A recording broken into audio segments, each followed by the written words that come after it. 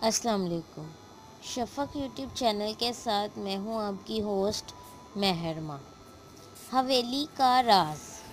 مسلمانوں کو بہت سے مسائل کے ساتھ جس ایک بڑے چیلنج کا سامنا ہے، وہ ہے باہمی اتحاد کی کمی۔ ایک خدا، ایک رسول صلی اللہ علیہ وآلہ وسلم، ایک کتاب، ایک امت۔ لیکن پھر بھی امت اتنی پارا پارا کیوں ہے؟ اس میں ہماری اپنی کوتاہیوں کے ساتھ اسلام کے دشمنوں کی بھی محنت شامل ہے۔ زیر نظر مضمون ایک ایسی ہی حقیقت ہے کہ کیوں ابھی تک ہم ایک چاند پر بھی متفق نہیں ہو پا رہے۔ یہ مضمون جولائی دو ہزار دس اردو ڈائجسٹ میں بھی شائع ہوا تھا۔ نواب راحت خان سعید خان چھتاڑی انیس سو چالیس کی دہائی میں ہندوستان کے صوبہ اتر پردیش کے گورنر رہے۔ انگریز حکومت نے انہیں یہ اہم عہدہ اس لیے عطا کیا کہ وہ مسلم لیگ اور کانگریس کی سیاست سے لا تعلق رہ کر انگریزوں کی وفاداری کا دم بڑھتے تھے۔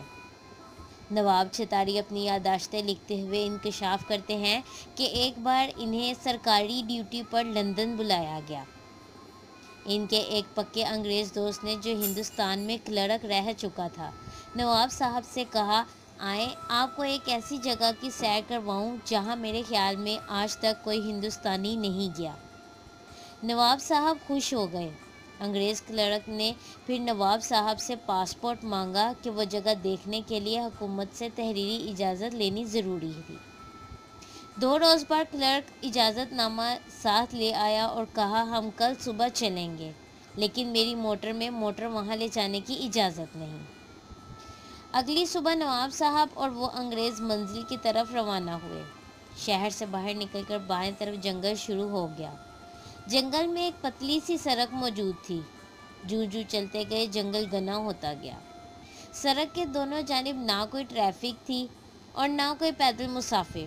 نواب صاحب حیران بیٹھے ادھر ادھر دیکھ رہے تھے۔ موٹر چلتے چلتے آدھے گھنٹے سے زیادہ وقت گزر گیا۔ تھوڑی دیر بعد ایک بہت بڑا دروازہ نظر آیا۔ پھر دور سامنے ایک نہایت وسیع و عریض عمارت دکھائی دی۔ اس کے چاروں طرف کانٹے دار جھاڑیاں اور درختوں کی ایک ایسی دیوار تھی جسے عبور کرنا ناممکن تھا۔ عمارت کے چاروں طرف زبردست فوجی پہرا تھا۔ اس عمارت کے باہر فوجیوں نے پاسپورٹ اور تحریری اجازت نامہ غور سے دیکھا اور حکم دیا کہ اپنی موٹر وہیں چھوڑ دے اور آگے جو فوجی موٹر کھڑی ہے، اس میں سوار ہو جائے نواب صاحب اور انگریز کلرک پہرے داروں کی موٹر میں بیٹھ گئے۔ اب پھر اس پتلی سڑک پر سفر شروع ہوا۔ وہی گنا جنگل اور دونوں طرف جنگلی درختوں کی دیواریں۔ نواب صاحب گھبرانے لگے تو انگریز نے کہا، بس منزل آنے والی ہے۔ آخر دور ایک اور سرخ پتھر کی بڑی عمارت نظر آئی۔ تو فوجی ڈرائیور نے موٹر روک دی اور کہا، یہاں سے آگے آپ صرف پیدل جا سکتے ہیں۔ راستے میں کلرک نے نواب صاحب سے کہا، یاد رکھیں کہ آپ یہاں صرف دیکھنے آئے ہیں۔ بولنے یا سوال کرنے کی بالکل اجازت نہیں۔ عمارت کے شروع میں دلان تھا۔ اس کے پیچھے متعدد کمرے تھے۔ دلان میں داخل ہوئے تو ایک باریش نوجوان عربی کپڑے پہنے، سر پر عربی رومال لپیٹے ایک کمرے سے نکلا۔ دوسرے کمرے سے ایسے ہی دو نوجوان نکلے۔ پہلے نے عربی لہجے میں السلام علیکم کہا۔ دوسرے نے وعلیکم السلام کیا حال ہے؟ نواب صاحب یہ منظر دیکھ کر حیران رہ گئے۔ کچھ پوچھنا چاہتے تھے، لیکن انگریز نے فوراً اشارے سے منع کر دیا۔ چلتے چلتے ایک کمرے کے دروازے پر پہنچے، دیکھا کہ اندر مسجد جیسا فرش بچھا ہے۔ عربی لباس میں ملبوس متعدد طلبہ فرش پر بیٹھے ہیں۔ ان کے سامنے استاد بالکل اسی طرح بیٹھے سبق پڑھا رہے ہیں، جیسے اسلامی مدرسوں میں پڑھتے تھے۔ طلبہ عربی اور کبھی انگریزی میں استاد سے سوال بھی کرتے۔ نواب صاحب نے دیکھا کہ کسی کمرے میں قرآن کا درس ہو رہا ہے، کسی جگہ بخاری کا درس دیا جا رہا ہے اور کہیں مسلم شریف کا۔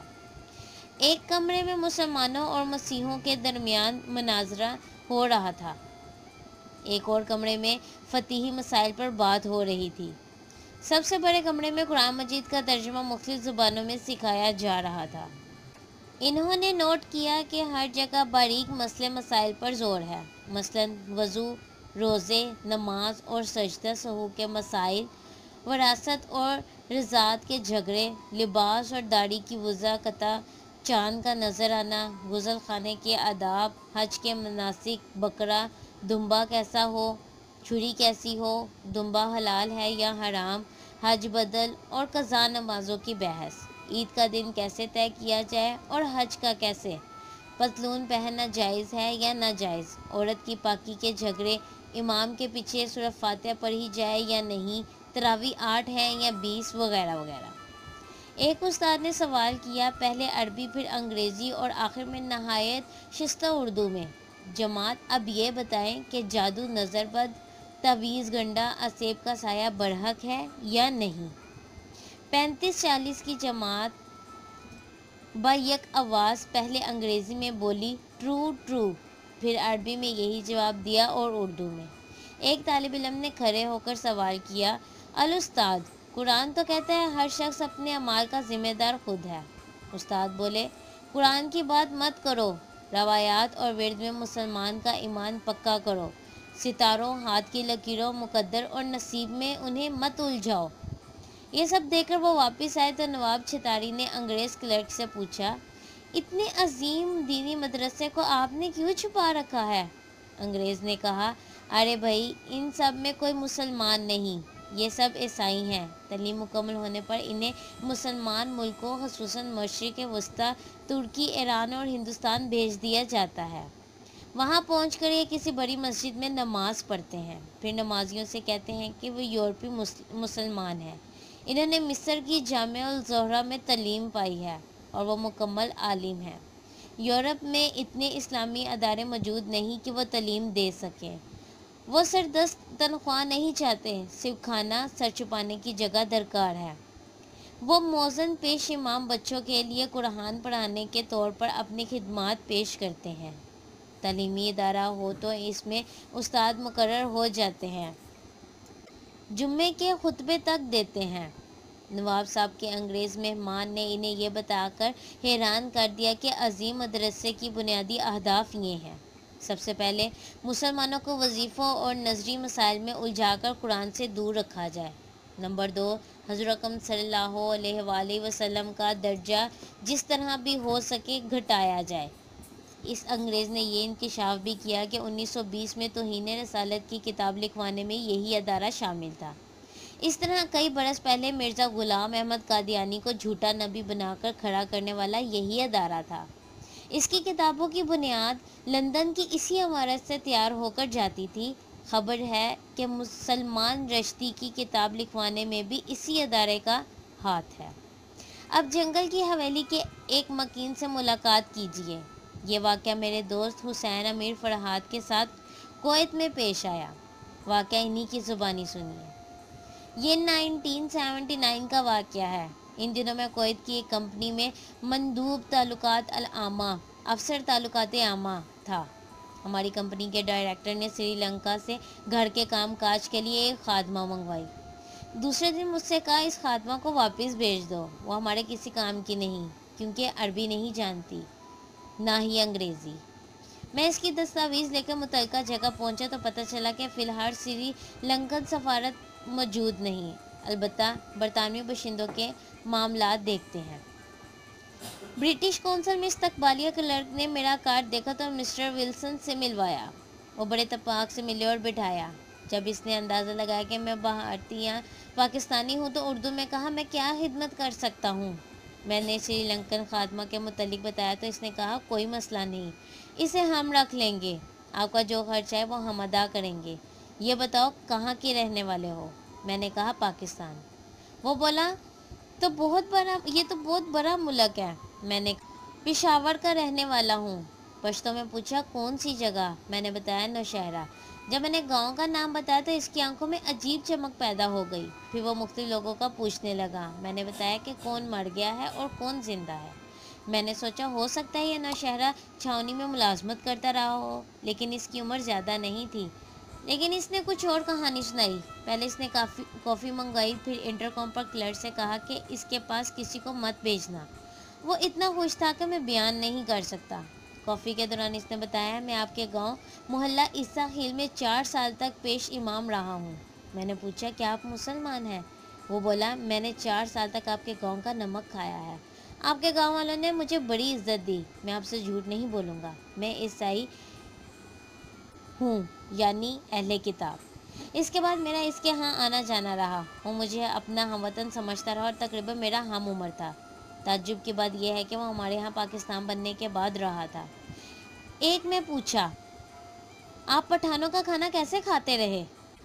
وہ کہنے لگا، آپ لوگوں کا کھانا اتنا مزیدار ہوتا ہے کہ میں یہاں آج بھی گھر جاتے ہوئے ایرانی تندور سے روٹی لے کر موٹر میں روکھی کھاتا ہوں۔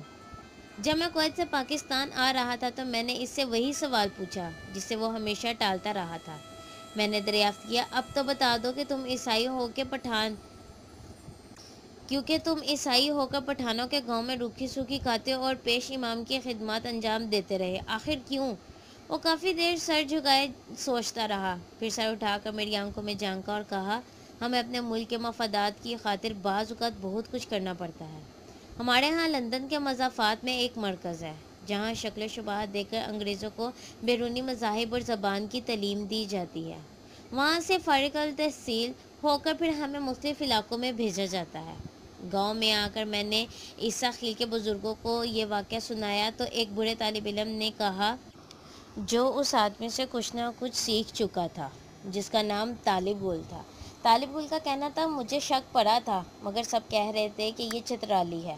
وہاں اکثر چترالی مولوی امام ہے وہ بھی گھوڑے ہیں، بالکل انگریزوں کی طرح۔ پھر طالب گل نے کہا، چلو بھائی، اب چار سال کی نمازیں لوٹائیں، جو ہم نے انگریز کے پیچھے پڑھیں خانہ خراب ہو اس کا۔